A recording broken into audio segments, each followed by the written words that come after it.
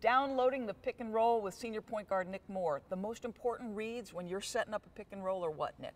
Um, just reading the defense. Uh, if I know the big man's going to come out in hard hedge, I know I can hit the uh, JT, for instance, with the pocket pass. Um, but if the big man comes out and he's just flat hedging me, I know I can get to an area and pull it for my jump shot. Take us through it. Hey, shake, three coming, shake. I'm middle, middle, middle, middle. I'm flat, I'm flat. Oh, that's the master of the pick and roll, senior point guard Nic Moore. Well done, gentlemen. Well done.